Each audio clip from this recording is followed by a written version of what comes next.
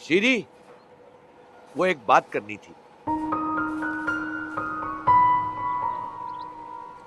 वो आपसे एक ज़रूरी बात करनी थी। जी कहिए मैं सुन रही हूँ।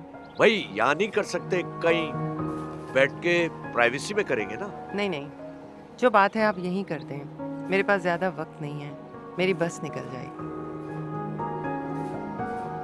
शीरी आप अच्छी तरह जानती है मैं आपसे क्या बात करना चाहता हूँ। आपको तो पता ही है ना।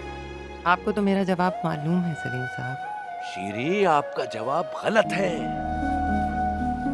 जरा ठंडे दिल से सोचे ना और यकीन जानिए मैं आपको बहुत खुश रखूँगा। किसी किस्म की कोई शिकायत का मौका नहीं दूँगा। नहीं सलीम साहब मैं एक जवान बेटी की माँ हूँ मेरी तो सारी खुशियाँ अब उसी के दम से हैं। शीरीन वो तो ठीक है। लेकिन आप खुद भी तो हैं, आपकी अपनी भी तो ज़िंदगी है है?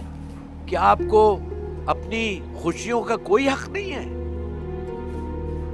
नहीं, सलीम साहब। औरत जब माँ बनती है ना तो मर जाती है। औरत मर जाती है और बस माँ ज़िंदा रह जाती है। अपने बारे में सोचना तो मैं उसी वक्त छोड़ चुकी थी जब मेरी बेटी पैदा हुई थी।